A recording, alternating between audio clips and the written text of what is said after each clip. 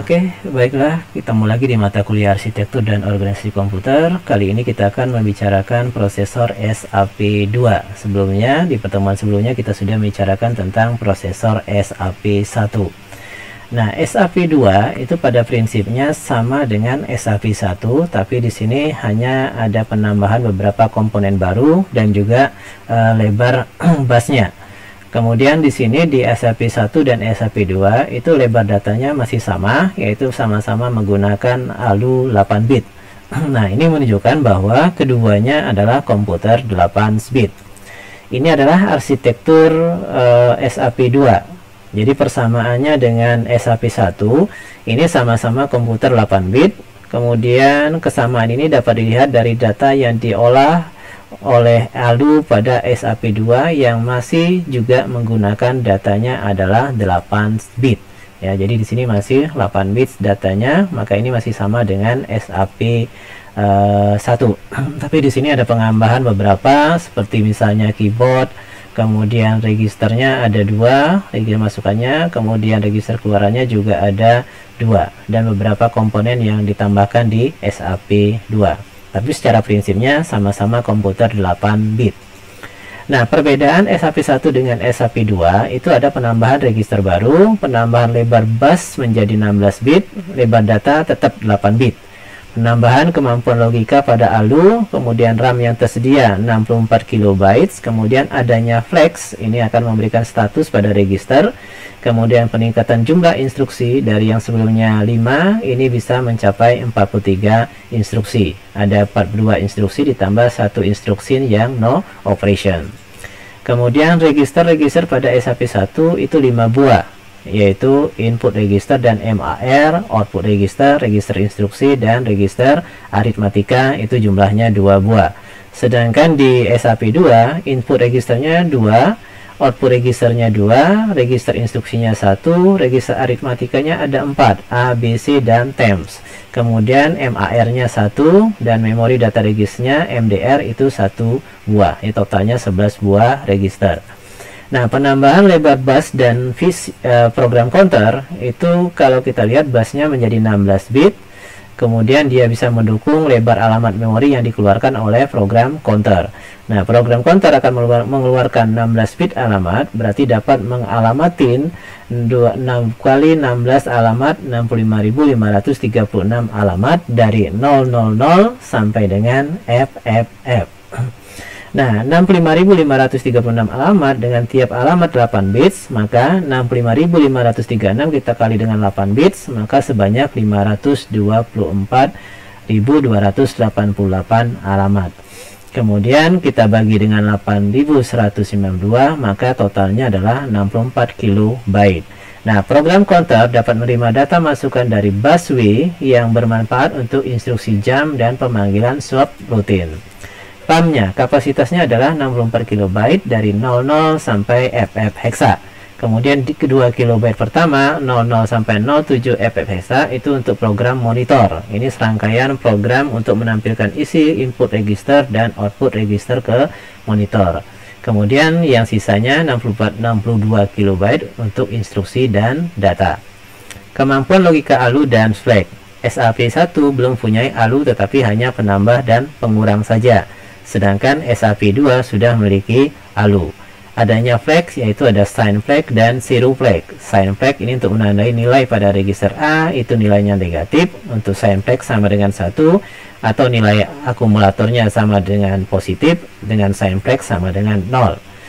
Kemudian zero flag itu untuk menandai nilai pada register A0 yaitu zero flagnya sama dengan 1 atau akumulatornya bukan 0 zero flagnya sama dengan 0 jadi dengan menggunakan penandaan seperti ini maka diketahui nanti nilai akumulatornya apakah negatif apakah positif atau dia 0 atau bukan 0 Nah, jumlah instruksi data yang masuk ke dari instruksi register ke pengendali dan pengurut sebanyak 8 bit. 8 bit ini menjadi alamat bagi pengendali dan pengurut. Nah, kemampuan pengalamatannya itu adalah sama dengan 256 alamat. Ini dua pangkat 8. Dari 00 sampai FF hexa. Tiap alamat berisi satu sinyal cons. Dari 256 sinyal cons didapat 43 instruksi. Nah, instruksi terdiri dari dua bagian, yaitu kode operasi, operation code, dan opcode, yang dioperasikan dengan operan. Kode operasi lebarnya 8 bit menempati satu alamat di RAM. Nah, contoh instruksi operan yang berbeda. Ya, ini adalah misalnya HB, itu artinya kode operasinya 80 dan tidak membutuhkan memori untuk operands. Jadi ini sudah diterjemahkan sendiri di mesinnya bahwa untuk H itu adalah dia kode operasinya 80 dan dia tidak membutuhkan memori untuk operandsnya sedangkan MVI A,18 misalnya ini adalah kode operasinya 3E membutuhkan satu alamat RAM untuk operands ya itu kodenya sudah ada di dalam tabel-tabel uh, untuk instruksi ini. Kemudian store A 4861 kode operasinya 32 membutuhkan dua alamat RAM untuk operan itu uh, ini ya Nah ini misalnya ketika instruksi tersebut disimpan pada RAM secara berurutan mulai dari 1000 heksa maka peta isi RAM sebagai berikut. Ya alamat 1000H itu akan berisi 10000 yaitu 80 heksa. Maka instruksinya adalah HB sedangkan di 100 eh, 1001 heksa datanya berisi 3E yaitu 00111110 kemudian di 1002 itu berisi 18 eh, yaitu 001 100 yaitu 18 heksa ini. Jadi MPI A itu adalah 3E 18 heksanya di sini. Kemudian store 4861 STA-nya sendiri adalah 32. Kemudian 4861 itu disimpan di registernya yang belakang lebih dahulu yaitu 61 kemudian 48 karena dia manggilnya dari bawah ke atas jadi 4861 satu heksa. Nah, itu contoh kalau kita ketemukan di dalam uh, pengkodean di instruksinya. Nah, instruksi SAP itu banyak ya, ada B itu code opcode-nya 80, C opcode-nya 81, 81 di CRA 3D dan seterusnya. Ini kode-kode untuk opcode dan uh, instruksinya. Misalnya contohnya sub B itu opcode-nya 90, sub C 91 dan seterusnya jadi dari tabel ini bisa dilihat nanti opcodes untuk masing-masing instruksi pada SAP 2 ini banyak sampai 43 instruksi. Jadi sudah ada opcodes masing-masing di sini. Nah kemudian load eh, LDA load the akumulator itu mengambil data dari memori dan dipindahkan ke akumulator. Jadi dia akan menggunakan format LDA alamat. Jadi yang kita tulis di sini adalah alamatnya. Misalnya LDA 1500 maka dia akan mengambil apa namanya data yang ada di dalam alamat 1500 jadi isi regulat, eh, register akumulator itu dengan nilai yang ada pada 1500 jadi pada alamat 1500 itu nilainya akan diisikan ke akumulator Kemudian store the akumulator STA. Ini mengambil data dari akumulator dan dipindahkan ke memori. Jadi STA alamat untuk formatnya. Contoh STA 1501 hexa. Maka di sini dia akan isi RAM pada alamat 1501 dengan nilai yang ada pada akumulator. Jadi data yang di akumulator itu akan diisi ke alamat ini. Jadi alamat ini akan berisi data dari akumulator. Kemudian move immediate MVI.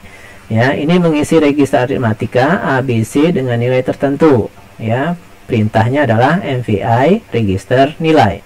Ya, MVI B C4 misalnya. Maka ini artinya apa? Kita isi register B dengan nilai C4 hexa. Jadi nilai C4 hexa kita isikan ke register B secara langsung karena move immediate. Sedangkan move sendiri itu menyalin data dari satu register aritmatika ke register alamat aritmatika yang lain. Jadi kalau tadi MVI register nilai, kalau ini register-register. Misalnya move B, C. Artinya apa? Kita isikan uh, register B dengan isi daripada register C. Jadi data yang ada pada register C akan diisikan ke register B. Nah, data yang di C bagaimana? Data di C tetap tetap ada. Jadi dia hanya mengisi data yang ada di C ke B bukan memindahkan. Walaupun artinya move tapi dia tidak memindahkan. Tapi dia hanya copy jadi istilah move-nya tidak sama dengan translate-nya yaitu pindah tapi translate-nya tetap dijadikan copy. Jadi mengcopy data di C ke B Kemudian add dan subtract itu menambah atau mengurangi isi rex A dengan nilai register reg akumulator dengan nilai register aritmatika lain dan hasil disimpan pada akumulator. Ya, formatnya add register atau sub register. Contoh, add B artinya A sama dengan A ditambah B. Jadi nilai akumulator sama dengan nilai akumulator itu sendiri ditambah dengan nilai di register B. Kemudian sub C artinya nilai akumulator sama dengan nilai akumulator dikurangi dengan nilai register C.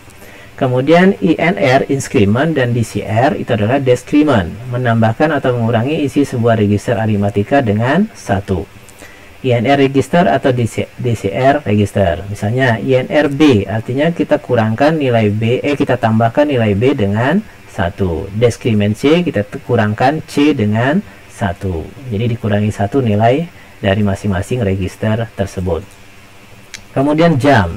Instruksi jam itu tidak bersyarat prosesor langsung mengalihkan instruksi ke program yang sesuai dengan alamat lompatannya. Misalnya jam alamat ya. Jadi alamatnya misalnya 2500 maka dia akan loncat ke alamat 2500 maka program counternya akan diisi dengan 2500 Nah, instruksi ini memberitahu prosesor untuk menjalankan instruksi pada alamat 2500 hexa. Nah, proses ini akan mengubah nilai program counter menjadi alamat 2500. Oke, kemudian CM, jam if minus. Instruksi lompatan bersyarat, prosesor akan memeriksa flag sign keluaran dari ALU pada operasi sebelumnya. Jika sign flag bernilai 1 artinya hasilnya negatif, maka lompatan dilakukan karena dia if minus. Ya, jika sebaliknya kalau hasilnya adalah positif, maka dia tidak lakukan lompatan. Jadi dia akan lompat jika nilainya adalah negatif.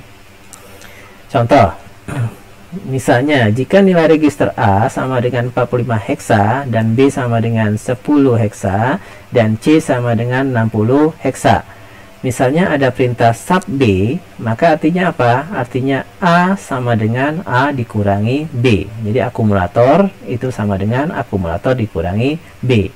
Nah, nilai A itu sendiri adalah 45. 45 dikurangi nilai B, yaitu 10 heksa. Sehingga 45 heksa dikurangi 10 heksa itu dapatnya 35 heksa. Ya, maka nilai akumulator akan berisi 35. Kemudian ada perintah jam 1000, jam minus. Ya, kita lihat hasilnya adalah positif bukan minus, maka dia tidak akan lakukan jams. Maka dia akan lanjut ke operasi selanjutnya adalah sub C, yaitu akumulator sama dengan akumulator dikurangi dengan C. Maka nilai A yang terbaru adalah 35, bukan 45 ya, karena di sini sudah ada proses sebelumnya, maka nilai akumulator terbaru adalah 35. Maka 35 heksa dikurangi C sendiri adalah 60 heksa. Nah, ini kalau kita kurangkan hasilnya adalah minus, dia kecil dari 0. Maka ketika ada perintah J 2600, maka program ini akan loncat ke alamat 2600 heksa. Oke, itu kira-kira penjelasan dari uh, program tadi. Nah, jam if zero GZ ini instruksi lompatan bersyarat, itu prosesor akan meriksa flag zero keluaran dari ALU sebelumnya. Jika flag zero bernilai 1, artinya hasilnya 0. Maka lompat akan dilakukan. Jika sebaliknya, maka lompatan tidak dilakukan. Jadi JZ alamatnya ke mana? Jadi dia akan lompat ke alamat yang dituju. Jadi kalau misalnya JZ 2500, maka kalau nilainya atau flag zero-nya sama dengan 1, artinya dia hasilnya 0 maka dia akan ke 2500 alamatnya. Kemudian jam no zero kebalikannya. Ya instruksi lompatan bersyarat prosesor akan meriksa flag zero keluaran dari ALU. Jika flag zero bernilai 0 artinya hasilnya bukan 0 maka lompatan akan dilakukan. Jika sebaliknya maka lompatan tidak dilakukan. Jadi jam not zero. Jadi kalau dia tidak bernilai 0 ya jika nya bernilai 0 maka artinya bukan 0 kalau dia bukan 0 maka dia tidak akan loncat eh kalau dia tidak nol maka baru dia lakukan lompatan tapi kalau dia nol maka dia tidak lakukan lompatan Oke, kemudian ada call and return. Nah, konsep prosedur dan rutin dikenalkan pada SAP 2. Konsep subrutin kemudian memindahkan pembagian tugas utamanya ke subrutin.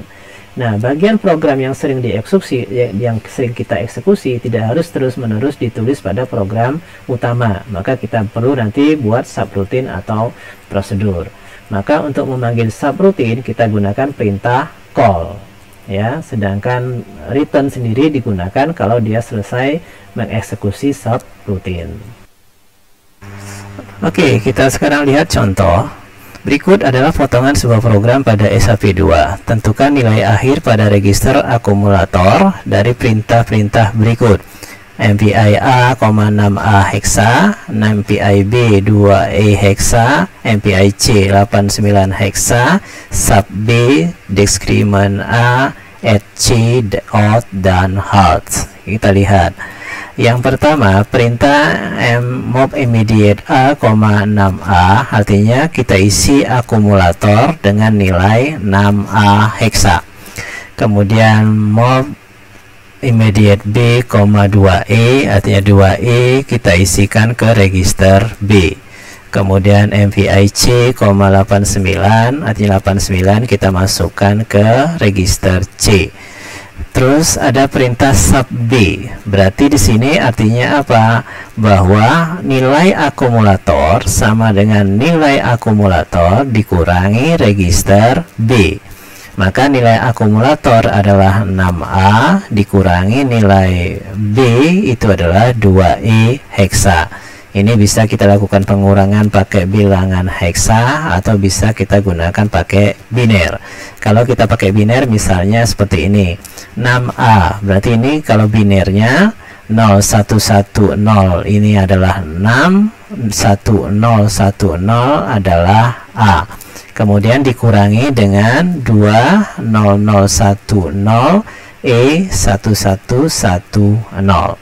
Kemudian kita lakukan operasi pengurangan 0 dikurang 0 0 1 dikurang 1 0 0 dikurang 1 nggak cukup. Kita pinjam sebelahnya 1 0 dikurangi 1 hasilnya 1 maka ini jadi 0 0 dikurangi 1 nggak bisa maka kita pinjam 1 maka ini jadi 1 0 dikurangi 1 hasilnya 1 ini tadi 1 0 dipinjam ke sebelahnya maka ini tinggal 1 1 dikurangi 0 1 1 ini tadi sudah dipinjam di sebelahnya. Maka ini tinggal 0 maka dia pinjam 1 0 dikurang 1 hasilnya 1 ini jadi 0 0 kurang 0 0 0 kurang 0 0 maka akumulator itu akan berisi 0011 1100 sama dengan 3C heksa Nah, selanjutnya perintah Dexliman A artinya apa? Akumulator dikurangi 1.